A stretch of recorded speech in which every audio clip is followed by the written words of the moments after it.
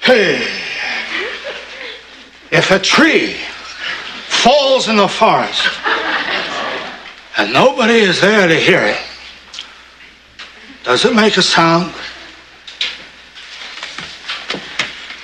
If a tree Falls in the forest, nobody's there. Is there a sound?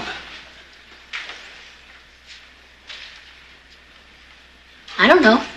Of course there is. Don't let anybody fool you.